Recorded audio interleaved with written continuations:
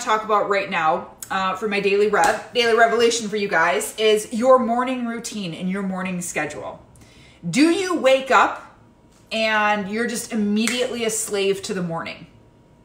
Many of us can say, yep. Especially if you have school age kids um, and you're just getting up and you're you're doing the lunch, you're doing the off to school, then you're going to work, or you're cleaning the house, or you're doing you're doing whatever that routine is, whatever the day requires you to do at that moment, and sometimes it can change and switch and whatever. Um, I invite you all to start your new system and get something in place that works for you. Now, I can tell you what mine is. I can tell you what my routine is. But having a routine in the morning and that system that you do can help put you on the right path for the rest of the day. Okay? That system starts the night before. So, my next to my bed on my nightstand, I have paper, my gratitude journal, a pen, paper, whatever, because sometimes thoughts come to me in the middle of the night for ideas and stuff and workouts. I know my brain doesn't stop. Um, I like to journal if I have a dream or something like that, whatever. That's easy stuff. But also, I like to sit down and just real quick on a section of piece of paper, like what tomorrow is going to look like and what do I expect for myself, what needs to get done. And my morning routine has drastically changed over the last year. And I feel like the mornings no longer control me. I have control over my mornings. So I wake up, I always try to wake up before everyone else. Some mornings it's it's not perfect um, and I'm dragging and then I'm behind, and then that sets the pace for the whole day. I hate that. I always try to get up before everyone else. This is my routine. You guys have to figure out your own though, but I definitely can give you guidance and help you with that. I wake up before everyone else. Highly recommend you do it too. Is it fun? No. Does it suck? Yeah, especially right now because it's starting to be dark in the morning and um, you're like getting up. and No, no, my bed's so comfy and warm and I just want to stay in it get up before everyone else. It's going to give you that time and that space. If you have a dog or an animal, take the dog or whatever it is that you have and go for a walk. Create space in the morning. I used to create my space at night. Um, once I made the switch to morning, drastically changed. So it's dark, it's cold, whether it's raining, snowing, beautiful weather, whatever, go outside for your walk. Again, just making a recommendation. This is what I do. But no matter what the temperature, no matter what is going on outside, I'm outside creating my space. That's the first thing. Um, but before I get out, I look at what I wrote down for the day, what needs to happen. Create space is always number one.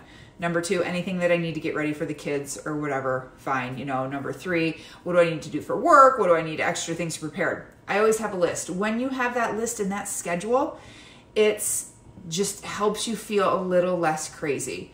So I wake up before everyone else and I always just take a moment. I swing my legs over the side of my bed and I, you guys, I literally do this every single morning like clockwork. Swing my legs over the bed and I just breathe. I just breathe. Sometimes it's five deep breaths, sometimes it's 10. If it gets any more than 10, I could literally put myself back to sleep. But I'm just breathing. I'm taking in my gratitude. I'm letting go any negative energy and I just gather my thoughts. I tell myself how, how, wonderful I am, what an amazing day it's going to be, and I prep myself. I use that first eight minutes of when we set the path for the rest of the day, first thing in the morning. Many people wake up, hit the snooze, throw the covers off the bed, and they're like, you know, all walking to the bathroom, going to the bathroom, brushing their teeth, yelling at the kids, hurry up, we slept in late. Imagine eliminating that from your life. Wake up, swing my legs over, at least five, ten breaths I check my list. Okay, got it in my head. Take care of my business, grab the dog, walk. No matter what. And that's the thing, you have to have that no matter what attitude. It has to become routine, it has to become second nature. It's just what you do. And if you're thinking, like, I could never do that, how could I ever do that? I could never do that. You can, but it has to become you, it has to be part of your routine. Then I come inside, I make sure kids are up, I start doing lunches, then I start making their breakfast, then I start doing hair. Same thing every day. Like I know what to expect, they know what to expect. Then I'm getting them off the bus stop, then I'm coming back and I'm doing the next thing on my list, which is usually a stretching session. Three minutes, you guys. We're literally talking three minutes where I'm just standing there and I'm like, going down, lateral lunge, other lateral lunge, deep breath in, and I just look out in my backyard and I'm like, oh my God, I'm so blessed to even have a backyard. Um, and I just take a couple minutes, then I get into my regular routine of whatever day that is. Monday looks different than Tuesday. Tuesday looks different than Wednesday. Actually, Monday Wednesday look similar. Tuesday and Thursday kind of look similar. Friday's its own world. It's it's its own demon. Um, but I do whatever that schedule is for that day. And it's okay if your schedule doesn't look the same Monday through Friday. It's not supposed to. Okay? So think about these things, you guys. What type of morning routine could you figure out that helps get you space, clarity, more relaxation, less stressed, more positive attitude, more positive environment?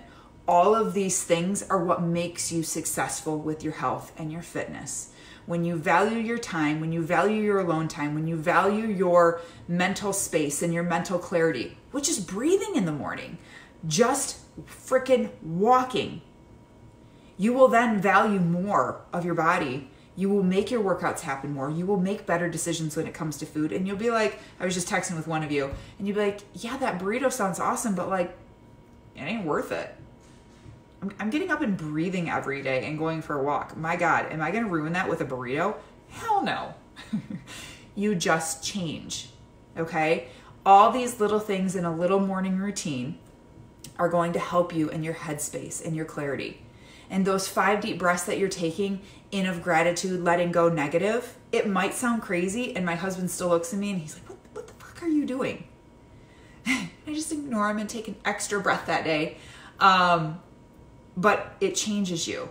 And oxygen changes you. So when you literally breathe in your nose and out your mouth, you are getting more oxygen and getting fresh oxygen directly to your brain through your nose. It's not a mistake that they put oxygen on your nose and not just a full mask all the time. Usually it's directly through the nose. Depends on what they have. Um, it's not a mistake. So start thinking of morning routine. Who on here is going to embrace this and start creating their five minute morning routine? I don't want to hear, oh my God, you have no freaking idea. I have like 20 kids and there ain't no time for me. You get up just a little bit earlier. I know it that initial waking up is hard. But being stressed and a crazy person is even harder. It truly is. So think about it. I want you guys to think about what can you start doing daily every morning Monday through Sunday, that is just going to help you a little bit better organize your day. Okay, and remember, it does start at the night before. Laying down in bed, going through your gratitude journal, writing it down, just making a quick list of the top things that must be accomplished the next day. Don't forget. And then you're ready for bed. And then in the morning, you pick up, do your do your morning routine. So, my question to all of you into the comments is what can you do to improve your morning? What can you do to improve your mindset? What can you do to get fresh oxygen going? What can you do to just make a little bit more time for you? We're literally talking minutes, you guys, not 15, 20, 30. No, we're talking five minutes. Um, 10 if you're gonna go for a walk with the dog or something, okay? Um, but I want to hear it. I want to know what you guys think of this topic. I want to know if you're currently doing something. And if you're not, I want to know how you're going to change that.